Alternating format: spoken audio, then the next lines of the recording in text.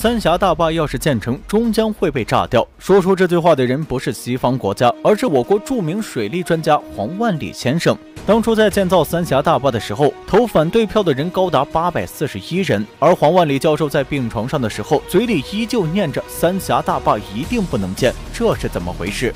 修建世界上最大的水坝肯定不是一件简单的事情，所以对于三峡大坝这个庞然大物，当初中国是需要很多勇气的。因为二十世纪九十年代的中国并不发达，所以在中国讨论修建三峡的时候，所有人都觉得不可能实现。这项巨大的工程需要跨越长江，背后隐藏着巨大的水利资源和国家安全问题。所以在这个方案刚被提出的时候，黄万里教授就坚决地站出来发出了反对意见。黄教授坚信这个巨大的工程在安全性和国家利益方面存在重大隐患。另外，大坝需要搬迁数十万居民，这也将是一个沉重的经济负担。三峡电站发电的经济效益可能还无法收回其天文数字般的投入。三峡建成之后，长江的水流会变慢，甚至会变成静水湖泊，这会导致河沙在重庆不断积累，一直到河道被填满。更重要的是，大坝很有可能成为敌人的攻击目标。一旦大坝被摧毁，那会对中国带来灾难性的毁灭。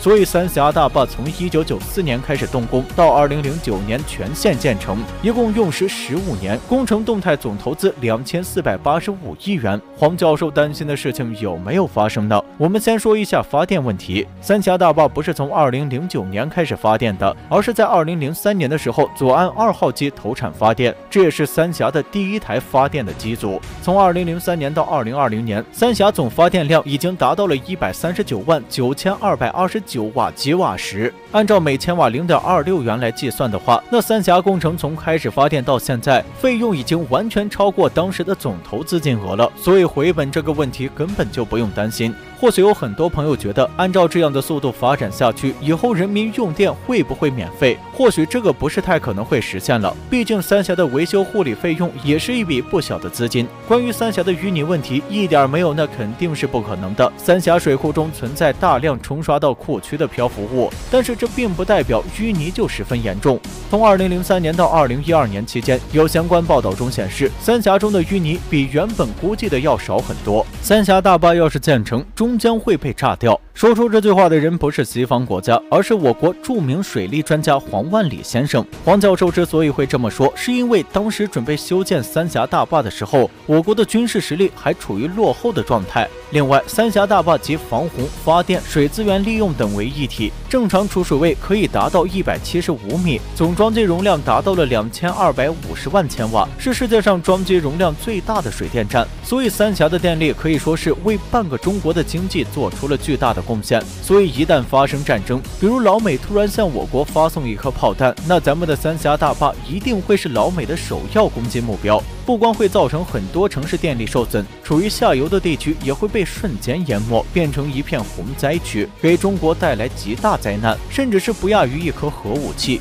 因此，出现大量的人员伤亡，还有经济的大量损失，这种情况中国肯定是不会允许的。所以说到防护，其实三峡大坝本身的坚固程度就是最好的防护。三峡大坝的整个坝体全长两千三百三十五米，高一百八十五米，将近有一千七百万立方米混凝土。还有将近四十六万吨的钢筋建造而成，所以整个三峡大坝的重量可以达到四千一百万吨。像这样的墙体，普通常规的导弹打上去，最大留下一个坑。要是想要彻底将三峡大坝完全炸毁，那还是要好好准备的。至少一百万吨左右的 TNT 当量核弹根本撼动不了。另外，三峡大坝在刚开始设计的时候，就已经把更厉害的蘑菇弹攻击的因素都考虑进来了。也就是说，一定当量蘑菇弹的爆炸威力，它也是可以抵挡的。就算是炸出了一个大窟窿，三峡大坝也绝对不会出现全部坍塌的现象。最关键的是，三峡大坝所用的混凝土设计强度，已经从刚开始的二十五兆帕，经过不断水化，已经增长到了四十三兆帕。也就是说，在之后的时间里，三峡大坝非但不会因为使用时间过长变得不结实，反而会经过水的冲刷变得越来越强。更何况，三峡大坝周围部署的军事力量也不允许任何外部势力对其进行破坏。我国守护在三峡大坝周围的军事力量究竟有哪些？炸掉三峡，淹没中国。如果爆发战争，敌人攻击我国三峡大坝怎么办？要是有敌人偷袭三峡，将三峡摧毁，那三峡下游的城市会被瞬间淹没。伤亡人数可能会上亿，这样大的损失，我国是一定不会让其发生的。因为我国三峡大坝在刚开始动工的时候，就已经在周围配备了解放军航空兵等等，甚至还有陆军防空部队，可以说是构建起了多层严密的防护网。并且随着施工的持续推进，这个防卫圈也会不断扩大和加强。另外，三峡大坝周围还要部署红旗九和红旗幺六防空导弹，这些是从太平洋或者是印度洋运过来的导弹，想要千里奔袭命中三峡大坝，它就必须要穿过东部、南部和西部战区的防空网络，所以实施难度可想而知。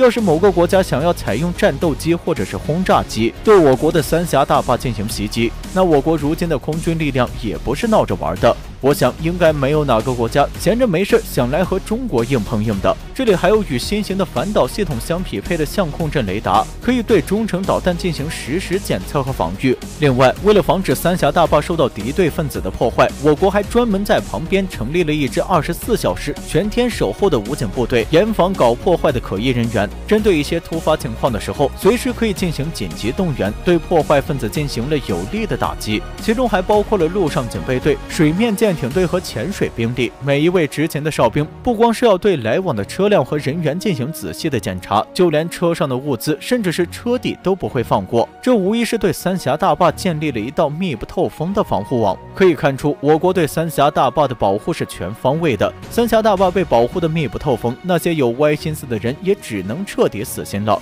另外，在三峡大坝刚刚建成的时候，我国甚至还宣布过，要是三峡大坝遭遇到攻击，那中国一定会用核武器打回去。当然，日内瓦条约规定，处于战争状态下，不能攻击大型水坝和核电站等设备。所以说，三峡大坝是非常安全的，我们完全没有必要担心。别说是炸毁三峡大坝了，或许那些有歪心思的人想要靠近三峡大坝，都是一个极大的难题。另外，大家也都知道，核武器的杀伤力太过强大。世界各国都很有默契，不会使用。